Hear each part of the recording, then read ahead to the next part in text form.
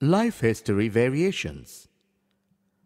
The life history of an organism depends upon the abiotic and biotic factors available in that particular habitat. It is variable from one species to another species. Life history of an organism mainly depends on reproductive fitness of that organism. It is also called Darwinian fitness. Reproductive fitness of an organism depends on the nature of habitat in which they live. In a particular habitat, organisms evolve towards the most efficient reproductive strategy under a particular set of selection pressures.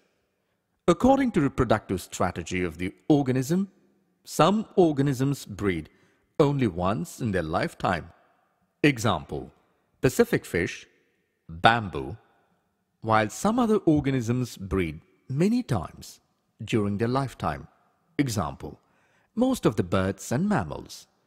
Some produce a large number of small-sized offsprings, oysters, pelagic fishes, while others produce a small number of large-sized offsprings, birds, mammals.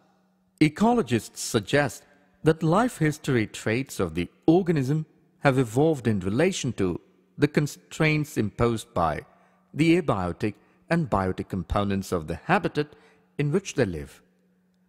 Evolution of life history traits in different species is currently an important area of research being conducted by ecologists.